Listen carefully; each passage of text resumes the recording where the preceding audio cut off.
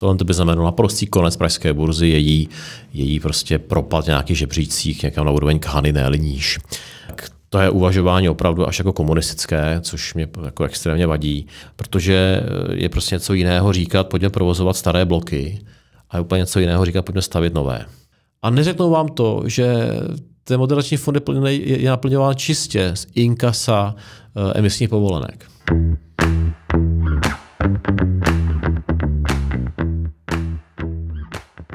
Ahoj, dobrý den všem. Moje jméno je Adam Blišťán a díky moc, že posloucháte 37P. Eh, chtěl bych poděkovat všem za ohlasy na předchozí díl, bylo jich spousta, mám z toho velkou radost a těším se i na ohlasy na dnešní rozhovor s dnešním hostem, kterým je eh, Radim Dohnal, ekonom pro fuze, akvizice a občasný akcionář ČES. Dobrý den a vítejte. Dobrý den, díky za pozvání.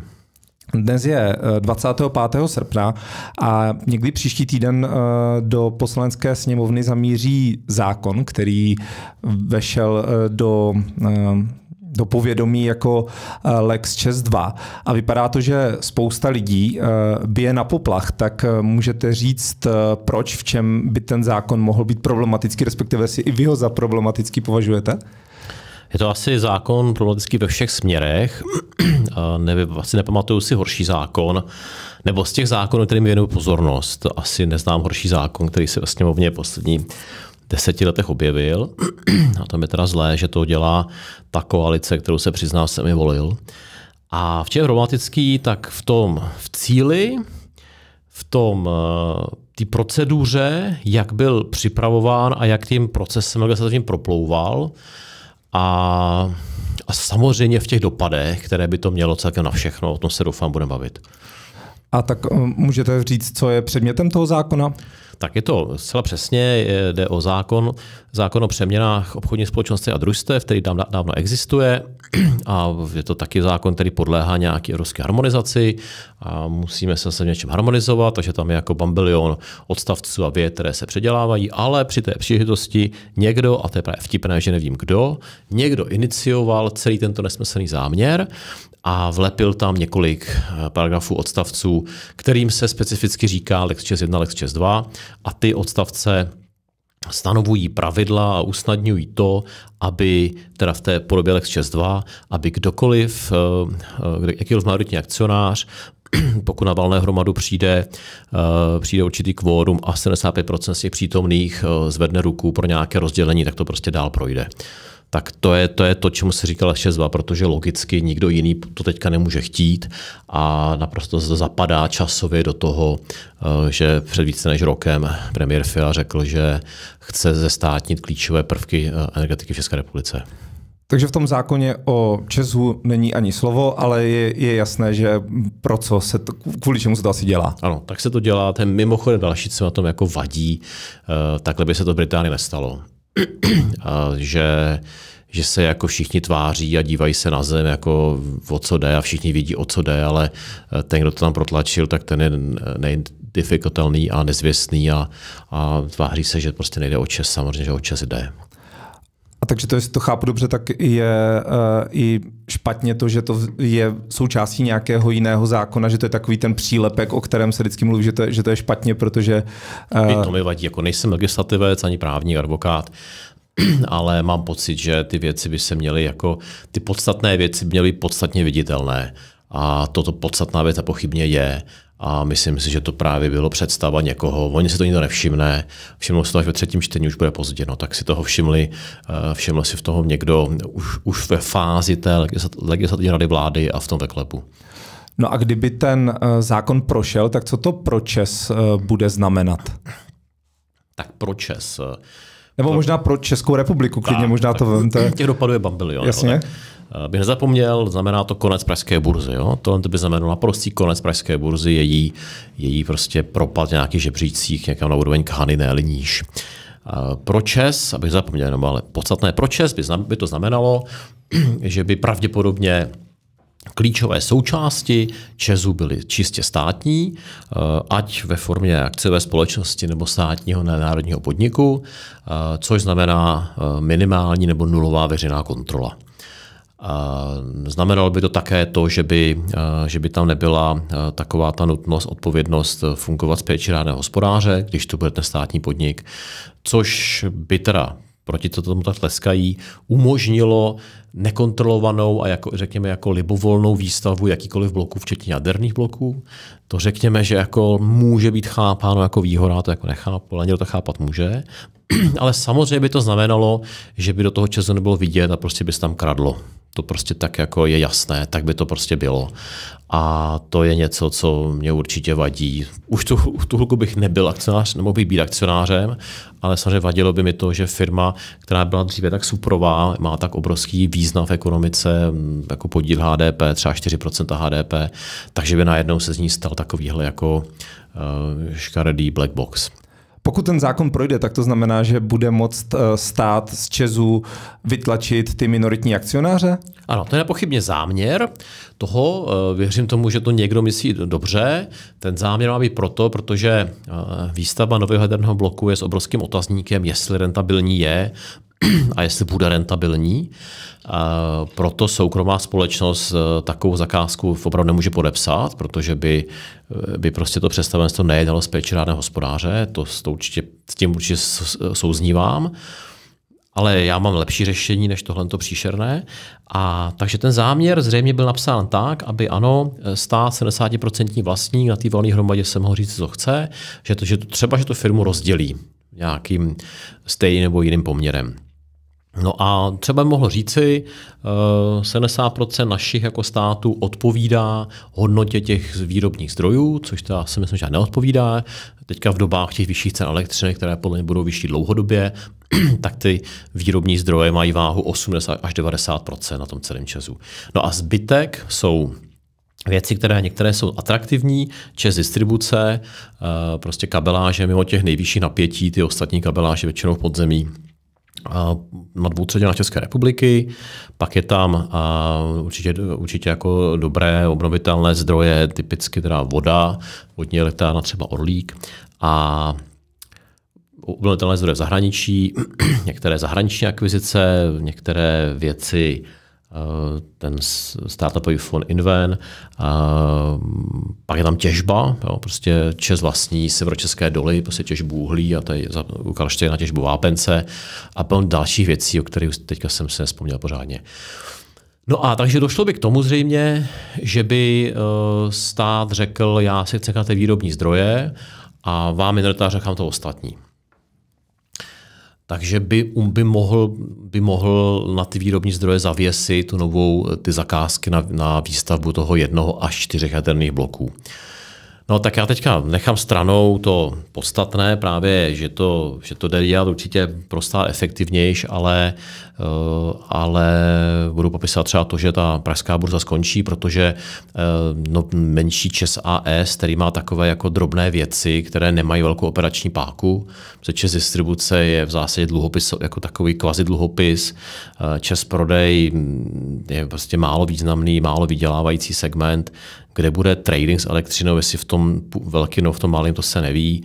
Vodní elektrárny jsou pěkné, ale malé z pohledu toho Česu. Neboli uh, takhle malá emise byla nezajímavá a zahraniční investoři by z ní odešli. To myslím, že by zůstali jenom ti, kteří si to nevšimli.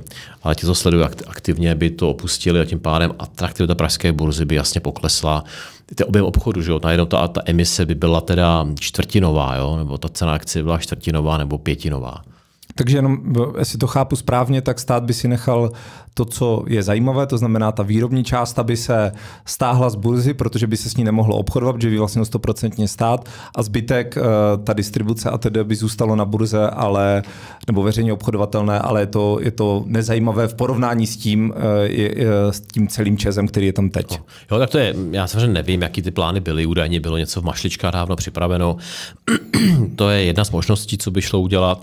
Jiná možnost by bylo, že by stát jako rozhodl o nějakém teda řezání, ale pak následně stejně o vytěsnění a e, možná, že by to chtěl vlastně celý skoupit, protože je taková konstrukce, kterou používali naši oligarchové, když ovládali různé veliké biznesy se stabilním cashflow, že si na tu, na tu svoji kupní cenu, e, na 90% kupní ceny půjčili zevnitřku té firmy.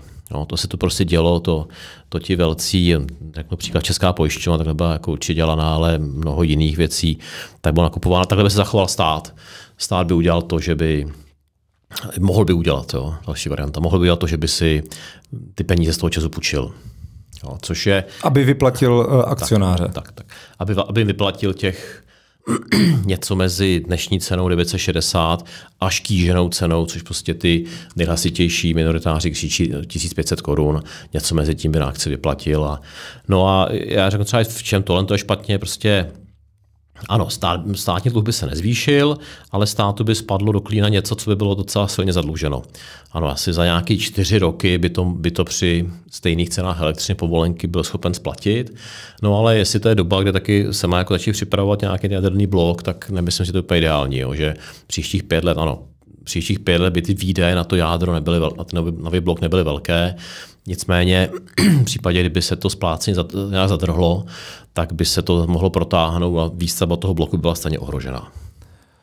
Proč to vlastně stát chce dělat, nebo uh, proč si myslíte, že to vláda chce udělat, jestli se bavíme tady o zestátnění Česu? Tak teďka budu mluvil jsem jako, poli, jako ekonom, energetik trošku, teď byl asi jako, pol, asi jako politolog, kdybych chtěl být, nejsem, ale teď si mě trochu nutíte do toho ty, ty odpovědi.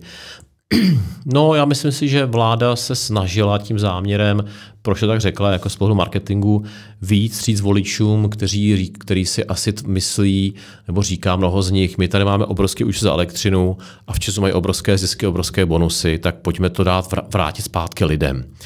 A, tak to je uvažování opravdu až jako komunistické, což mě jako extrémně vadí. Ale ještě připomenu takovou věc. Teďka v tuto stávající situaci ČES AS má 70% podílu na výrobě, výrobě elektřiny v České republice a v něm má 70% stát. Takže 0,7 x 0,7 je 0,49.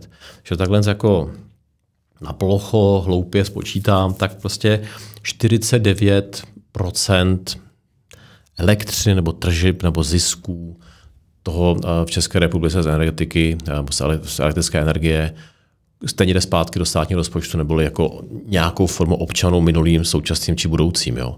Takže uh, i tak ten podíl státu je dost podstatný v tuto dobu.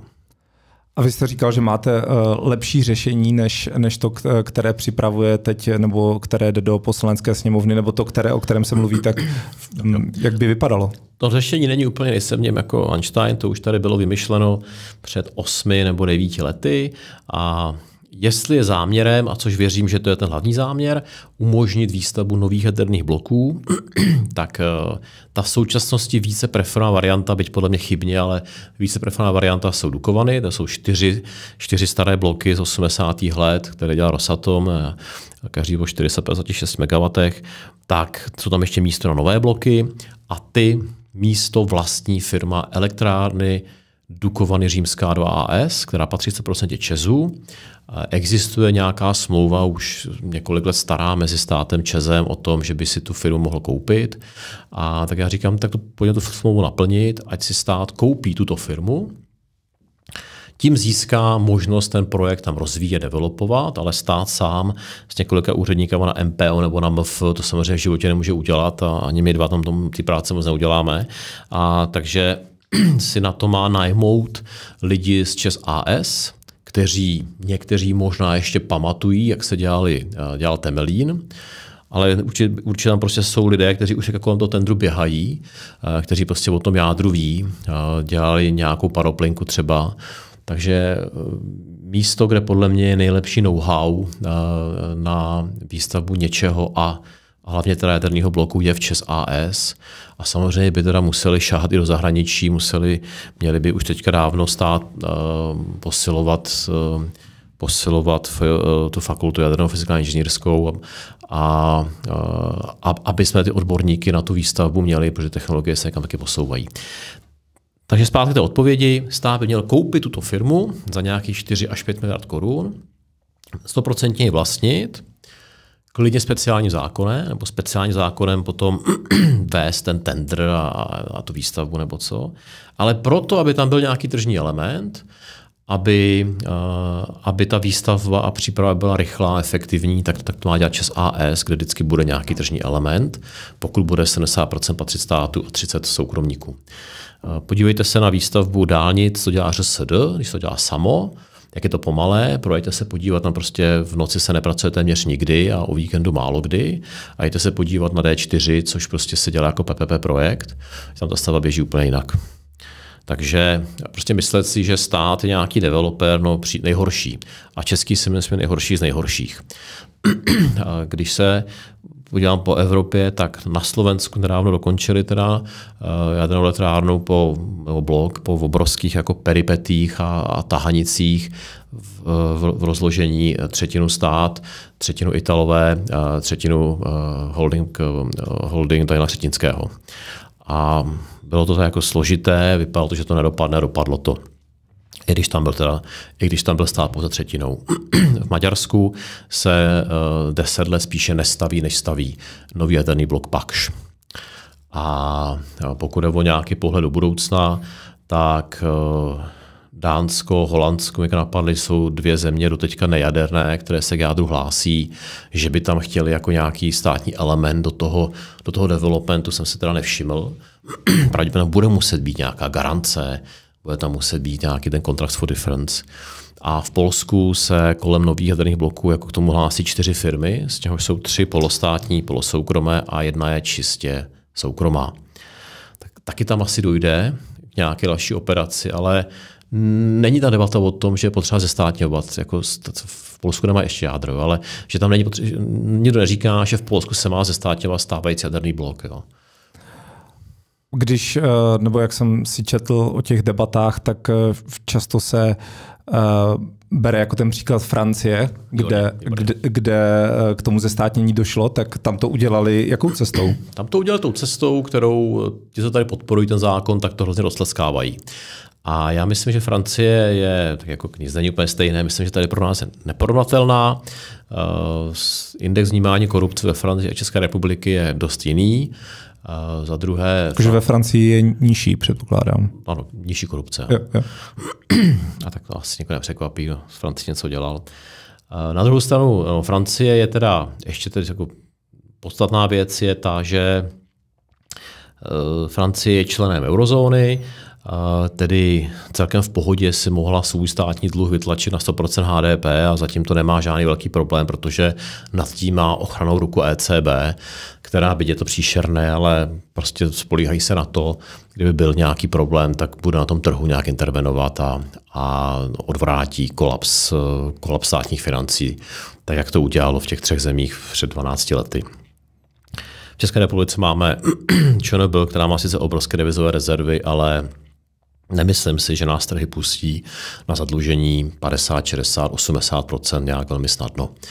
Takže nákup těch eh, několika procent EDF po státy zakupoval to malý procento od minoritářů, tak je to stálo nominálně jako velký miliardy eur, ale v tom, dluhu, v tom státním dluhu Francie se to jako vlastně nezvedlo příliš, a, ale jak říkám, jako navíc, ten, uh, navíc to financování státního dluhu francouzského bude vždy snadnější než českého. To, to prostě vždy bude, bohužel. Je to prostě ne výhoda, ale vlastnost té eurozóny. No a e, pak teda důležitá věc ve Francii, za Mitterranda měli to silný státní podnikání, mám pocit, že to uměli. Tehdy ty automobilky jejich jako, jako státní vyskočily docela nahoru a byli to docela lídři. A tehdy EDF byla, e, byla státní a v tu dobu vystavila těch 50 jaderných bloků, které teďka jako se o mě trochu špatně starali, ale Prostě v té Francii to státní podnikání je výrazně menší problém než u nás. Já si myslím, že ani tam to není dobře, určitě ne, ale my to my bychom dělali jistě hůře. No a k tomu, že tam byla nějaká prémie, tak to je taková jako, to je asi jako tak, že že prostě vás někdo na 14 dní zavře do sklepa, nebude vás krmit a vy se na to zvyknete a pak 15 den přijde a dávám jako, dávám, já nevím, prostě a mám kuře s kaviárem a šampaňským. A takže teďka vy byste, no to je skvělý, mě prostě nakrmil. Jako zapomenete těch 14 dní, co vás trápil. No a když se podíváte na kurz... A to se stalo ve Fran- v té Francii? To je moje interpretace, protože eh, když se podíváte na kurz akcí eh, Česu, za jakoukoliv dobu chcete, tak řekněme od roku 07 nebo 06, ještě jako tady byl obrovský boom, který skončil až v roce 8, takže kurz akcí se dostal někde na 1100, 1300, 1300 v roce 2007 a 1100 v roce 2008 a od té doby jako propadl a vrátil se. Když to kurz akcí EDF před těma 14 lety byl 80 euro a dostal se na počátku války na nějakých 12 euro, obrovský propad. A pak a, a potom ještě taká před válkou, protože koncem ledna 2022 francouzská vláda zavedla nějakou cenou regulaci, která byla dost na úkor EDF a proto ten kurz akcí klesl z 12 na 8. No a potom z té nejzbytější úrovně se stát probudil, řekl, já to chci skoupit. Takže vám dal prémii 50% od té nejnižší ceny. Nebo já říkám, já si nemyslím, že francouzský stát jako roky tu firmu trápil s cílem pak ovládnout. To, to určitě ne. Ale prostě tu, tu prémii nabídl z té, z té nejnižší ceny, která vznikla poté, která vznikla poté, co eh, tam přišla ta obrovská regulace, která ta, ta regulace obrovským dopadem na hospodaření EDF. Takže v tom mně přijde ten francouzský příklad jako Eh, nemožno aplikovatelný k nám. Jo. To, to, by, to, by, to, to by to protiplnění muselo prostě výrazně menší. Jak já vás možná zase budu tlačit eh, do odpovědi, kterou, která spíš není třeba ekonomická, ale neukázala eh, ta situace na Ukrajině, respektive ta ruská invaze na Ukrajinu, to, že je možná lepší, kdyby klíčovou infrastrukturu, kam mm, bez sporu ta energie patří, nebo energetika, tak patří tak, aby ji vlastnil stát, protože mm, protože to je prostě v zájmu toho státu, aby, aby ta energie pro lidi byla. Teď to říkám možná, uh, jak diskutující na novinkách, velmi jednoduše, ale, ale chápete. Já, já taky zjednoduším nějak jinak. Jo. To, Dobře. Je, to je jako armáda. Armáda je vám, a teďka omlouvám se všem, eh, všem v armádě, že to možná říkám zle, ale pro mě jako člověk ani na, na, na vojně ani nebyl, tak prostě já o armádě roky neslyším, teda s výjimkou toho, že pomáhali při covidu a při povodních, ale ta armáda společen, z pohledu nějaké celospojenské uplatnění je v dobách míru, řekněme, nepotřebná, jo, s obrovskou nadsázkou. A pak přijde válka a ty armády je málo. Jo. Myslím, že teďka vlastně každá evropská země by, by prostě ruskou invazi jako těžko, těžko přečkala. Uh, takže těžko, uh, takže co je řešení? Prostě podlehnout, anebo ty armády nastavit na obrovskou úroveň, aby v každém okamžiku prostě přečkali, udělat i na úroveň Severní Koreji nebo Řecka nebo nějaké africké země, kde se běžně do, vojen, do zbrojení dává 6% HDP. No, nevím. Je to nepřijde jako ekonom jako efektivní způsob, jak se tomu bránit a podobně to je s energetikou. ano, v těch, nejhorších, těch nejkrizovějších okamžicích, což byl druhý, třetí, možná čtvrtý kvartál loňského roku, tak by to státní vlastnictví prostě asi výhodné v něčem bylo, ale před ani po určitě ne. A blbý na tom je to, že jakmile se to státní vlastnictvím stane, tak se z toho už jako, tak z toho nikdo, nikdo nebude jde. V tom je to, v tom je to jako jednosměrka. Jakmile se tam jako v tom vedení usídlí ty spokojení pánové s větším pupíkem, ještě než jsem já, než mám já, prostě, kteří jsou jako spokojení a nedostižitelní. Za druhé kolem nich se, se, se prostě jako vyrojí desítky, stovky poradců, lobbystů, korupčníků, kteří budou hrát spíš pro sebe než pro ten čes, tak ty už ty vždycky najdou způsobu vysvětlovat, ne, ne, ne, furt to má být státní. A potkal jsem na chodníku nedávno jednoho, eh, nebo říkat kterýho významného poslance, který možná kolem toho zákon něco a on říkal, no já vím, že kdyby, kdyby ten Čes byl státní od roku 1990, že už neexistuje. Jo, vlastně to tak je, že podívejte se, Česká pošta, kam, kam, kam to dovedla. Měla obrovskou politickou podporu, Pření se platí důchody, datové schránky, já nevím, roušky, prostě všelijaký vlastně zakázky se tam dělali. Eh, dělali home credit, penzíko, losy, ale dělali věci, které se dalo vydělávat. A kam, kam došla? No, že se zachraňuje miliardama korun. Podívejte se na, eh, na české dráhy. Přece má jako super tržní postavení vlastně i v tom železe, ale furt od něj při každý nový soutěži na nějaký rychlíky od ty, od ty zakázky své přicházejí. A Takže proto já jsem jako a priori proti státnímu podnikání a můžeme se o tom zachočit prostě ty výhody, proč by stát mohl vlastnit nějakou energetiku, tak jsou podle mě uh, za před, jenom za předpokladu, že by tam byl jako nějaký super management, který by se nikdy nechal skrumpovat nikým, natož někým z Číny nebo Ruska. Takže, eh, že by to bylo prostě pod kontrolou, mohli tam ten stát přijít a, a, a prostě říct, eh, tak teďka začnete stavět nebo přestanete. No ale to vidíte na těm těch dálnicích. Jo. Stát chce stavět dálnice a nejde mu to. Eh, stát chce dělat digitalizaci a nejde mu to. A jako proč by stát teda měl být ten šikovný, který mu půjde výstavba něčeho, jako třeba nového energetického zdroje?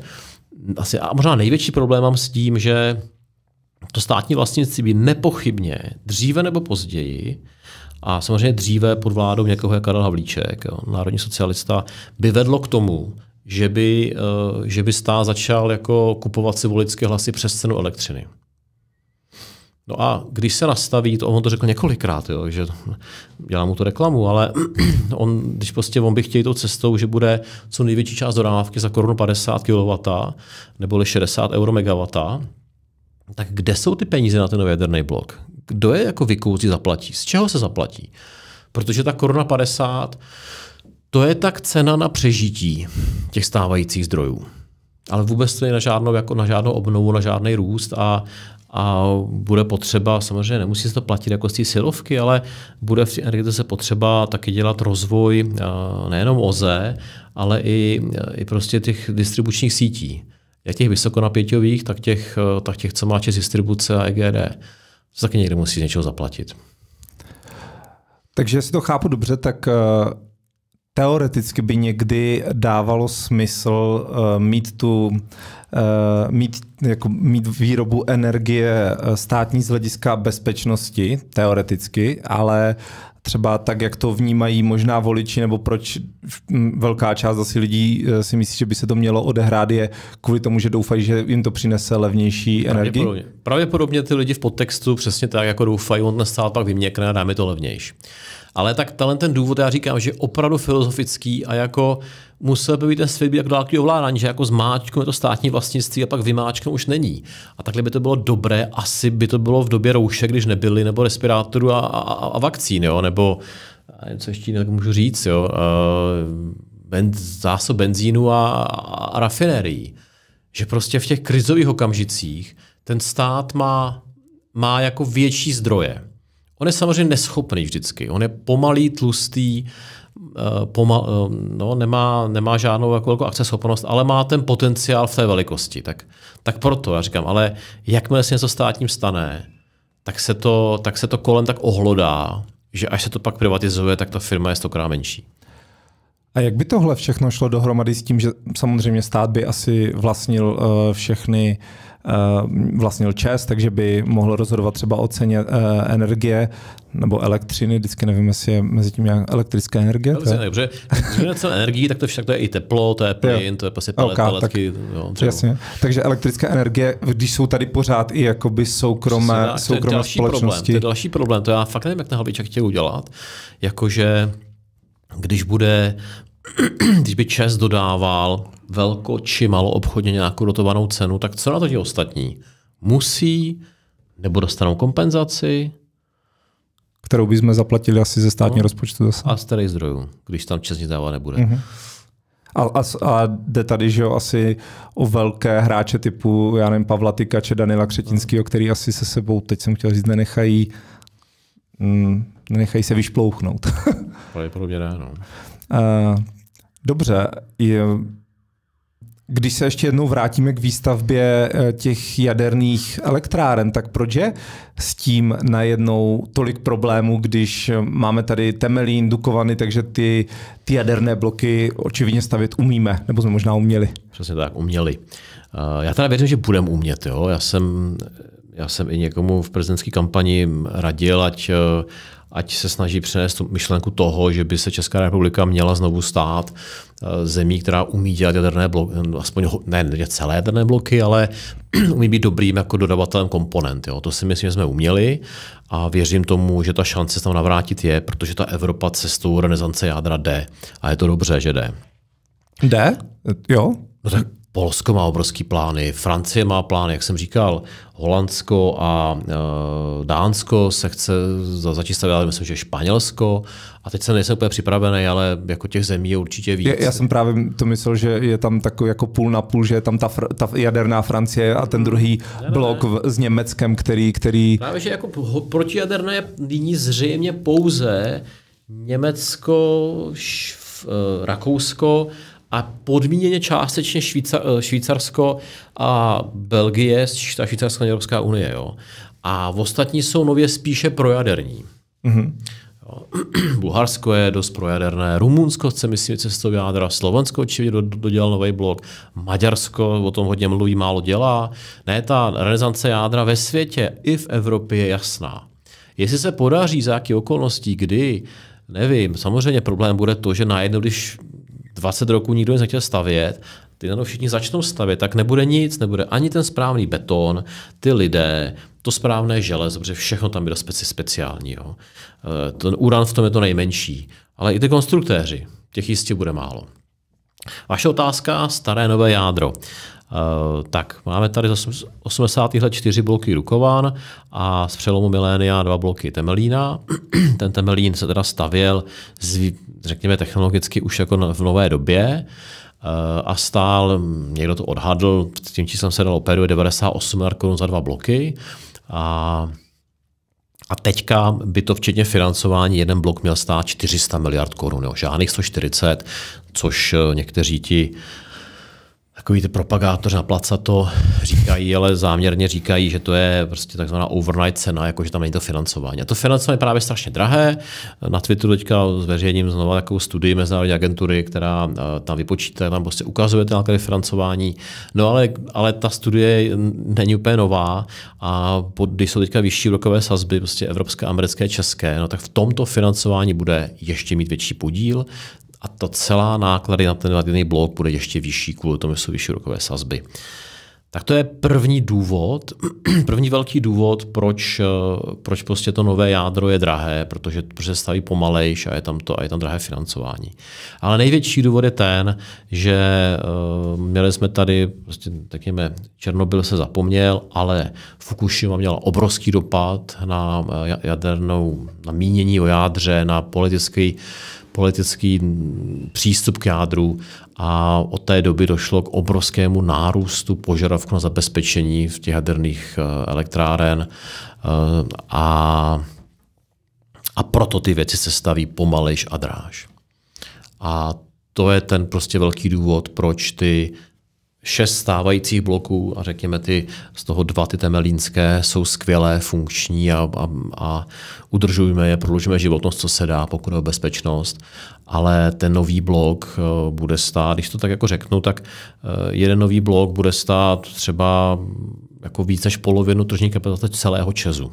Celý Čes prostě stojí nějaký stovky miliard korun a, a teďka se no teďka nejsem jestli tou, tou, tou cifrou, ale stovky miliard korun a obsahuje to šest jaderných bloků, nějaké uhelné, plynové, vodní, solární, zahraničí, čes distribuce, těžbu.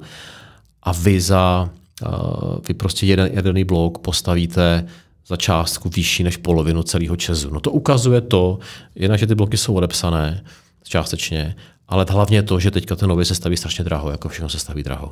Takže je, je prostě zmatení pojmů říkat, já jsem podporovatel jádra bez dalšího, protože je prostě něco jiného říkat, pojďme provozovat staré bloky a je úplně něco jiného říkat, pojďme stavět nové.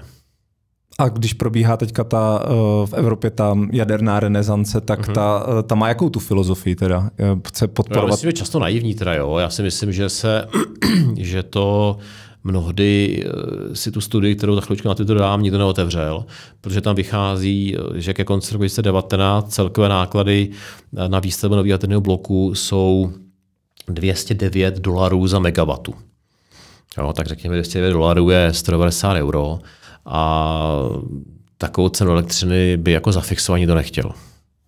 Nikdo nechtěl. Prostě jestli ve Francii a, a, Slovensku měli tu dotovanou cenu 50 až 60 euro, uh, oni sní, tady současná, nějaká současná opozice, uh, tak prostě fakt 190 by jako nikdo nechtěl unést. Jo. A myslím, že, to, že pro ten průmysl by to bylo ta nadmožnost má. Takže, jestli to chápu dobře, vy jste eh, jaderné renesance v Evropě radost nemáte, protože je postavena na jako vzdušných zámcích. Pravděpodobně, no. Prostě muselo by to, ten, kdo to říká, tak pokud není úplně mimo, tak musí věřit, že náklady financování klesnou. Eh, za druhý, že neporostou ty nároky na zabezpečení a že v té Evropě nevzniknou nějaký jako protijaderný bloky. Jo. Další problém... Jako pardon, protijaderný bloky myslíte jako, stá, jo, jako státy? Jo, jo, jo, jo, pardon, pardon.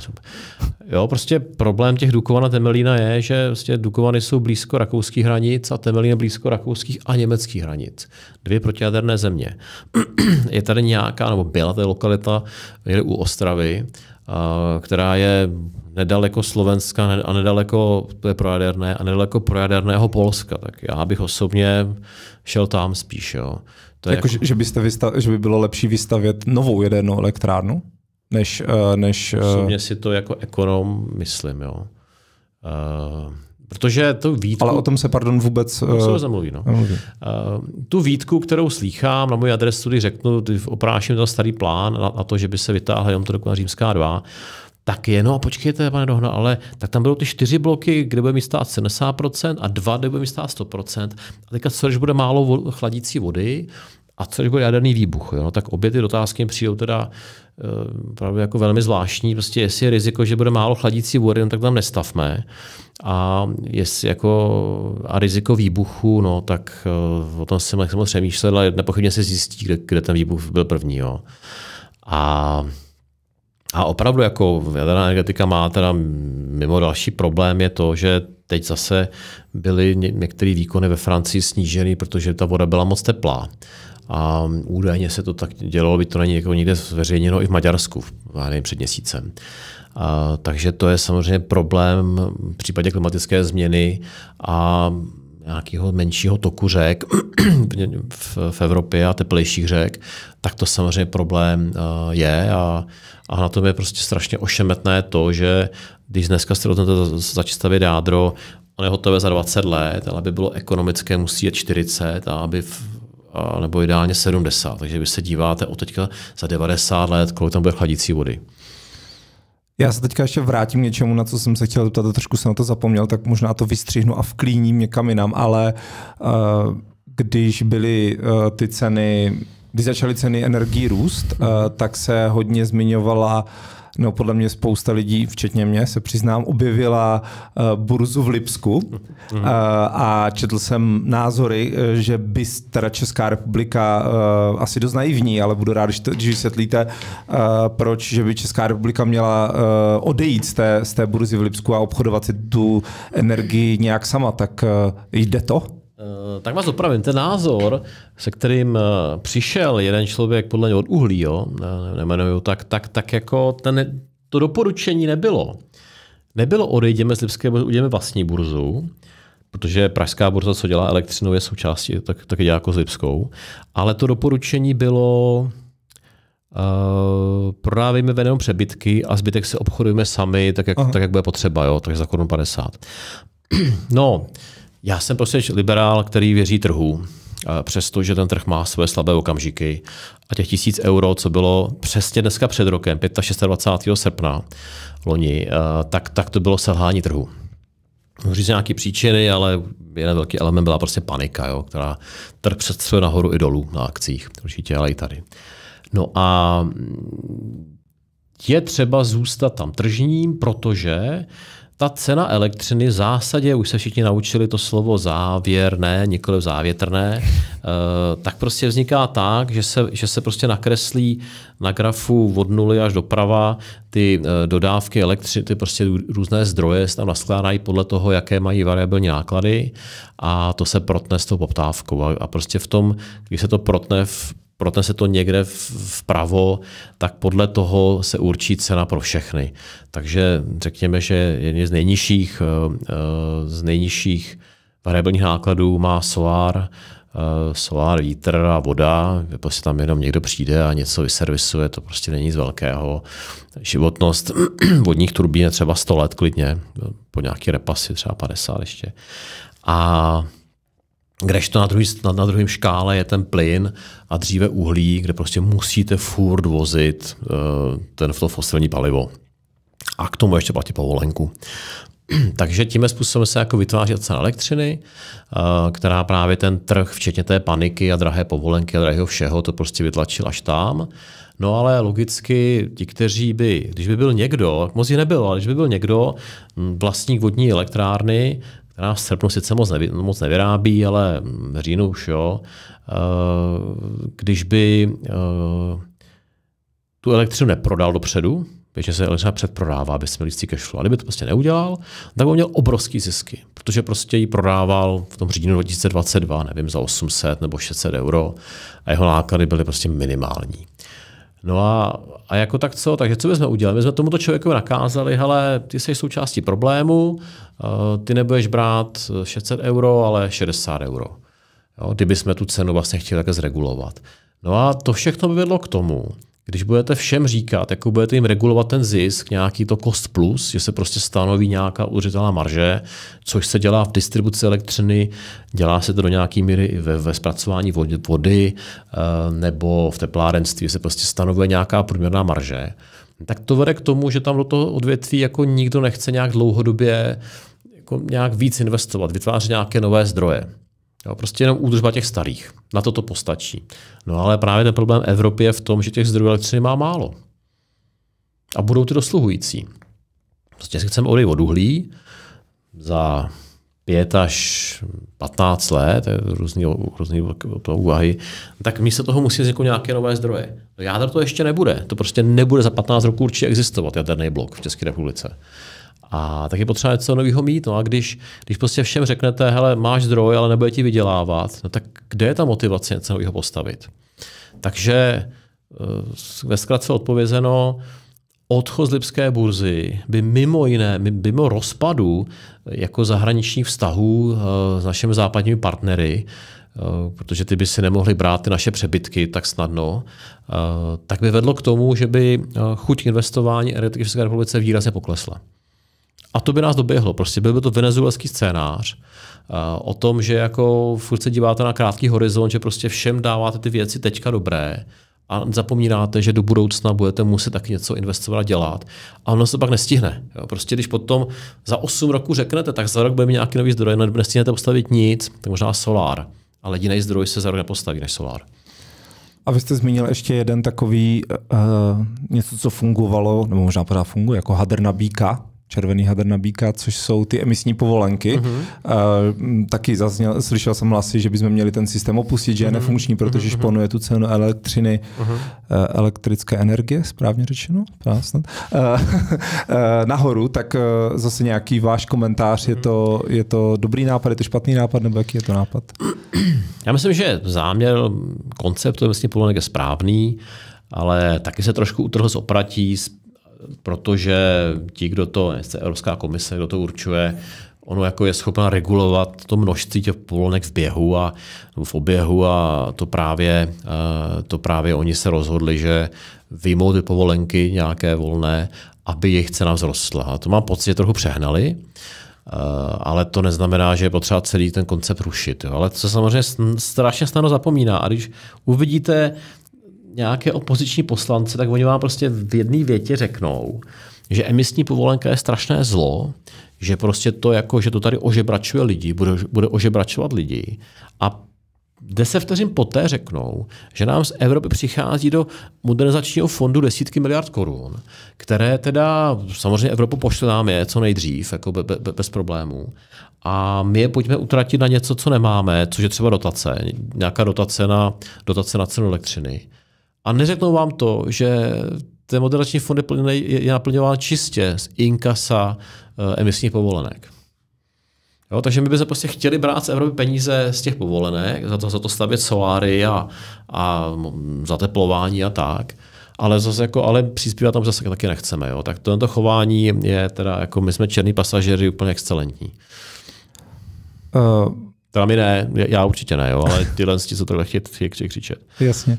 Mm, Včera, myslím, vyšla ta zpráva, že stát eh, koupil zásobníky plynu od hmm. RVE. A, a to odvodnění, co jsem pochopil, bylo zase, že je důležitý uh, mít tuhle infrastrukturu pod, pod palcem, protože prostě, no, pod palcem, prostě ve vlastnictví státu, tak Jaký je váš názor na to? Četl jsem, že to stálo, že to pravděpodobně ta cena někde okolo 10 miliard. Eh, dává smysl, aby stát ty, ty eh, zásobníky vlastně, když to vlastně doteď fungovalo bez zásahu státu? Tak tady jsem já, možná nekoncepčně, ale jsem opatrný podporovatel této myšlenky. Ty důvody oproti tomu ze státní Tak řeknu, jo, jak nominálně jde o menší částku. Jo. Prostě ze státní česu by stál 250 miliard korun, tady jde o lehce po 10. Eh, za druhé, tady se ne, a to já nechci, aby stát stavil nějaký nový zásobníky. To určitě stát dělat nemá, neumí a udělá to blbě. To jenom ať drží ty stávající a ty nějak oprašuje a rozumnou cenotvorbou za ty svoje služby, uh, rozumnou teda, vede k tomu, že ta investice, bude návratná, podle mě návratná bude. Myslím si, že uh, ta návrat, míra návratnosti bude někde 8% za 12 let třeba. Což si myslím, že vůbec není taková, že vůbec není špatná investice. Uh, že to bude z pohledu státu jedna z nejlepších investic, kterou mohl dělat a dělá. A bude to těch 8% mnou odhadnutých, doufaných, je více, než se stát, za dluh, než stát platí za úroky státního dluhu a věřím i, než je bude platit. A je to prostě více, než na jiných investicích prostě je schopen udělat. A ještě rozdíl potom Česu je ten, že tady opravdu to někdo prodávat chce. Ten RVE už prostě s tím chodí nějakou, nějaký měsíce a říká, to prodat chci a vůbec nevím, kolik ty ostatní zájemci nabízeli, jestli teda stát výrazně přeplatil, to nevím, asi to asi spíš jo, ale nebude to nic obrovského. No a právě, že to ne, neudělá dle mého jsou žádné další distorze. U toho Česu ten stát ten zájem by musel vyvolat, ještě tomu speciálním prasáckým zákonem, musel by se zadlužit, a dělal by to proto, aby to pak vlastně vedlo špatně. A já, já teda mám za to, že péče o plynové zásobníky je velmi jednoduchá, že se nedá pokazit, že to, že to je v zásadě jako um, dobře servisovaná díra v zemi, když to tak jako škaredě. A to prostě stát by mohl dělat, ať to dělá, ale nejsem toho nějaký hlasitý podporovatel. A je teď plyn, nebo je, mm, já jsem četl komentář uh, na Twitteru uh, Michala Šnobra, uh-huh. uh, že, uh, který byl mimochodem hostem tady v podcastu, uh, tak on napsal, že začala doba plynová. Je to, je, je, že vlastně no, i, tady, i, i tady s tímhle tak je to, je, je je, mm, zažívá plyn taky renesanci? Mm, já myslím, že jo, že v tom má Michal pravdu, že odchod od uhlí bude znamenat, že něco musí nového vzniknout a jádro to nebude. A plyn má obrovskou výhodu jako z těch fosilních paliv, to, že se dá rychle vypnout, rychle zapnout. To se ještě dá teda bioplinka, ale to je obrovský malý výkon. Takže jestli bude vyšší, podíl obnovitelných zdrojů, tak se to musí něčím doplňovat, protože když se podíváte se jako v 9 večer teďka a v červenci, tak ta elektřina už bývá drahá. Už ten výkon bývá slabší a lidi doma svítí, chladí a tak a v tu chvilku potom uh, bude potřeba ty plynovky třeba, třeba spínat. Takže podíl toho plynu si myslím, že poroste a problém u nás bude, a právě proto jsem podporovatel toho, aby to stát koupil. Teda jo. Uh, problém v České republice bude toho druhu, že ty trubky z východu opravdu budou osiřelé nějakou dobu. A teda ještě možná se stane to, že se bude plyn těžit na Ukrajině a že se těma trubkama teda pojede sem, tak to je jako, to by nás zachránilo, ale nemyslím si, že ten objem budou zdaleka takové, co byly z celého Ruska, jo, to asi ne. A pak prostě jsme teda země, která nemá moře, takže nemá LNG terminály, je závislá na terminálech a trubkách jiných zemí. Eh, a k tomu teda my budeme ti, co ten odchod od uhlí je jako docela masivní. Takže u nás ta plynu opravdu nastane a nastává A proto si myslím, že vlastně ty investice do plynové infrastruktury návratné budou. A právě proto si myslím, že to stát kupuje vlastně dobře, protože tohle na tom se jako podle mě těžko dá prodělat. To skladování plynu bude nutnost, jo, protože ta plynová infrastruktura v, tuto dobu, a ne v tu budoucí, až bude větší podíl, podíl těch plynových elektráren, tak ona je nastavená tak, že prostě jako historicky byl ten přísun plynu eh, v trubkách a těma zástěnka byl doplňován, aby se to stíhalo. Takže prostě byly potřeba. No a teďka, když prostě nemáme trubky z východu, máme jenom ty LNG, no tak, tak, tak ten podíl, ten význam těch zásobníků je ještě větší. Ale jestli to chápu, tak to ve zkratce znamená, že ta cena plynu už asi nebude nikdy tak nízká, protože se ty, zatímco předtím to šlo v, v trubkách z Ruska, tak teď se to musí přepravit, uh, si se nepletu, třeba z Ameriky se ho, hodně vozí. Austrálie. Jo, jo. Eh, z Kataru, Mozambiku, Kam- Kamerunu, Uh, jo, vozí se z celého světa, určitě to není ekologická způsob transportu, určitě to není jako levný způsob transportu, takže moje očekávání, že plyn se po 20 euro v žádném případě nedostane, jako nějaká kvartální nebo roční dodávka, samozřejmě na nějaký denní bázi klidně. A, a jako dlouhodobá cena plynu, prostě teď jsme vodní jako nemoc daleko. No. Takže proto právě to skladování a přeprava plynu, ale právě víc to skladování, protože my bohužel teďka, a tenhle další, kam míříte, ty, eh, to net for gas, tak ty trubky jsou teďka trošku k ničemu, protože ty byly koncipovány na dobu, když prostě přicházel plyn z východu a šel dál a to teďka se neděje. Ty naopak ten plyn jde, teďka ten plyn vlastně k nám proudí z Německa hlavně, takže takže eh, tahle ta plynová soustava, ale aspoň, že tak buďme rádi, že to máme. Kdyby ani to nebylo, tak nevím, si bychom se tady topili. Jo. Já, proto já říkám, že jako další krok, co by stát měl dělat, měl by víc propojovat ty naše plynové cesty do Polska a do Rakouska. A jenom vy jste říkal 20 euro, v kolik, v kolik byl ten plyn, aby jsme eh, věděli. Eh, kolik... to, to, jako 20 euro jsem řekl ještě jako velmi nízkou cenu. Tak ten plyn bývával nejnižší býval třeba 12, 15, 20 euro bývával. Jo. Ne, já si teda opravuju se, po 30 euro si myslím, že plyn se nějaký roční dodávce nedostane za předpokladu, že v Rusku nedostane, nedojde nějaké změně režimu nebo změně režimu u nás v Evropě, abychom ty trubky zase obnovili. Kdyby se to stalo, tak to si myslím, že pak ten plyn teda v Evropě ho bude opravdu hodně.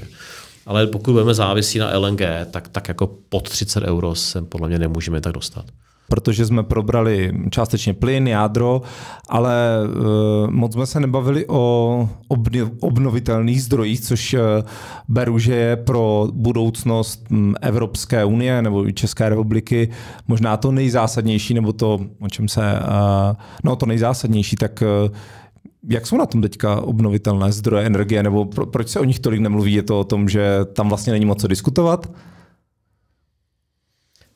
No, já myslím, že odpověď na vaši otázku je zájem médií a zájem jako, protože OZE jsou málo i velké projekty, jako obrovské projekty, jo, ano, prostě větrný park stojí jednotky miliard korun, obrovský solární park taky jednotky miliard korun, obrovská přečerpávací elektrárna taky stojí asi jednotky miliard korun a všechno ostatní je ve stovkách milionů. Tak bych tak jako zhruba plácnul. Jo. Eh, kdežto prostě nový jaderný blok je, eh, je v těch vysněných cenách 140, ale reálných je 400 a, a tady ty plynové věci jsou taky prostě za desítky miliard korun. Takže proto vám to přijde, že se o to málo mluví, ale ono se tam teda děje. Jo? Ono, eh, když bych se někde podíval, kolik, kolik prostě eh, měsíčně fakt platí Evropa Číně za nový solární panely, tak by taky asi byla pořádná cifra. Protože ty zdroje jsou prostě menší, decentralizované, soukromé, často bez nějakých rotací. A, a to je to obrovský kouzlo, který mě vlastně čím dál víc přijde podstatné a důležité, že ty OZE umožňují ty decentralizaci. Prostě uh, pan Adam bydlí v baráku vedle nás a v tom našem baráku já, já plánuju, že uděláme, uh, uděláme na střeše, tak to památkáři dovolí, uh, několik kilowatt uh, solárních panelů, aby jsme si tím uh, v létě chladili, jako přidávali chlazení, jo, prostě nějaký klimatizací, kdyby pokračovala klimatická změna. A nebo kdyby to nebylo potřeba, abychom tím ohřívali vodu na sprchování. A možná, že v březnu a dubnu, když se ještě topí, tak by to mohlo přihřívat prostě i jako topné médium. Jo. Tak takovýhle jako dílčí decentralizací vás, kde koho napadne jistě hodně, eh, všechno to má svoje svoje ale, protože ano, jsou to ty obnovitelné, ty, co to nemají rádi, říkají občasné zdroje, protože to prostě existuje, když, přijde, když to do dovolí. Takže sluníčko svítí, no svítí sluníčko, že jo. A, a fouká, když, prostě větrná, když fouká, bioplinka se dá vypnout, zapnout, když máte ty suroviny dost celkem jako libovolně. Geotermál, který nemáme, tak ten jde taky furt. A co jsem ještě zapomněl? A vodní, tak eh, dolní toky jedou furt a horní toky teda hlavně na jaře, když ta je sníh. A, ale pak je třeba blbý u těch vodních elektráren, když toho je hodně moc, tak vám to přeteče přes vrch a vy to stejně ne, nevyrobíte. Jo? A když fouká hrozně moc, víte, taky, taky ten extra, extra velké porivy taky prostě z velké části nezužitkujete. A u soláru, když všem svítí, tak taky ty elektřiny tolik, tak tolik moc, že se prostě i vypnou ty zdroje, nebo je záporná cena. Takže má to všechno svoje a je třeba se na ty OZE dívat tak, když to někdo plánuje, už nikdy nebude ten jednoduchá doba z toho 2008, 9, 10, že prostě to vyrobíte, dáte do sítě a někdo vám platí těch 11 korun za kilowattu, tak to už nikdy nebude. Eh, doufám. Prostě bude vždycky potřeba to udělat tak, abyste tu elektřinu spotřeboval co nejblíže té výrobě a nebo ji akumuloval, jo? nebo ji prostě akumuloval do vody, do baterky, nebo do vodíku, a nebo do nějaké, a nebo také, což já říkám svým menším klientům, průmysl, malým průmyslovým podnikům, ať se snaží podle toho, eh, podle té ceny elektřiny, také svoji výrobu upravovat. Říkám všem, zrušte celozávodní dovolenou eh, v červenci a udělejte ji v lednu. Jo, pokud máte pěti, to bude možná nepopulární. To asi nepopulární, ale tak na všechno si rozvykne. Já myslím, že byl nepopulární i, i pásy vzadu a žlutý vesty do auta a všelice se nepopulární. Jo. 50 že byla 60, 50, nebo 30 je na sedmičce. Jo. Eh, všechno je trochu nepopulární chvilku, ale se na to zvyknou. Takže ano, kdo má pětiletý děti, tak je pro ně asi těžký, eh, nebo sedmiletý, tak je těžký udělat prázdniny eh, v lednu, a v červenci být v práci. To je asi složitý, ale pro všechny ostatní mám pocit, že to, a když to ještě zaměstnavatel umí a má z čeho jako zaplatit, že pokud opravdu ta elektřina, on tím přesune výrobu z, z ledna, kdy elektřina bude běžně stát 200 euro, do července, když běžně bude stát minus 50 euro, tak pokud to je trochu energeticky náročná výroba a je schopen s tím trošku pracovat, tak nebo pustit robota a všelicos, tak já si myslím, že ano, ale potřeba to trochu víc přemýšlet. No. Plánovat tu výrobu, nákupy a pak ty prodeje. Takže jenom možná takové, já nevím, jako zhrnutí na závěr je eh, kvůli tomu, jak je ta energie složitá a jak se ty některé procesy třeba s tím jádrem prodlužují, tak se budeme my muset víc přizpůsobovat tomu i eh, té energii, eh, že prostě to nebude tak, že vždycky, nebo jako, že pokud uděláme to, že budeme chtít vždycky uh, zapnout uh, nějaký spotřebič, tak to samozřejmě budeme moct dělat, ale bude to hodně drahé, takže bychom měli víc přemýšlet o tom, kdy co uděláme tak, aby té energie v tu chvíli bylo dostatek? Tak to je trošku jako možná krajní nebo krizový scénář, ale také to je scénář pro to, pokud chcete mít tu elektřinu levně. Pokud budete, pokud budete fungovat opačně extrém, že máte nezateplený barák, to býte jenom elektřinou, k tomu máte jako, to býte třeba tak, co se někde děje, že otevřete troubu a to topíte, eh, tak, tak určitě takovýhle způsob fungování s, s energiemi a elektřinou je ten nejhloupější a nejdražší. Naproti tomu eh, jeden můj kamarád má hezký barák eh, a on si nakupuje elektřinu mimo to, že má svůj solár a baterku, tak ještě, když jsou ty záporné ceny, tak si prostě nabíjí baterku v to poledne a prodává to v 10 večer a, a, a může si tím prostě i něco v baráku ohřívat nebo chladit. Jo. Takže pokud chcete, máte na to samozřejmě trošku jako trpělivost, čas, technický vzdělání i trochu peněz, eh, tak s tím můžete prostě pracovat a být, tím, jak se, jak se dřív říkalo, eh, pro, prosumer, jako producent a consumer najednou. Jo. A to je ta cesta, která právě nás dělá rezilientnějšími než ta stará cesta. Ukrajina měla jeden z problémů ten, když prostě Rusko bombardovalo ty jejich trafostanice a ty elektrárny, protože neměli vůbec nic jiného. Prostě bylo to ta stará, sto let stará cesta, eh, dráty vedou od pantáty eh, pod podvraty nebo do nebo jak se zpívá. Nevím, přiznám, neznám. To je svědák uhlíř. Tak, eh, tak prostě ano, tam, když vypadne ten velký zdroj, tak nikdo nic nemá. Ale když tady každý bude mít nějaký malý zdroj, určitě ne na celou, celou svoji spotřebu, ale část spotřeby je schopen pokrýt tou vlastní výrobou, no tak on přežije.